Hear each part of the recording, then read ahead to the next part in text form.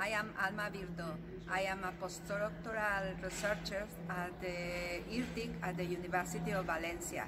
Uh, I am member of the team uh, in privacy and data protection regulation.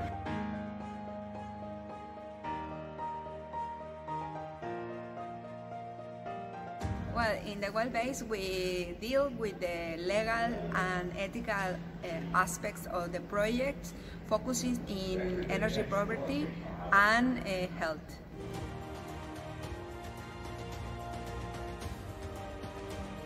We are going to create data sets for the second use and these dates uh, can uh, help municipalities plan uh, the policies based in the data that is uh, already available from our projects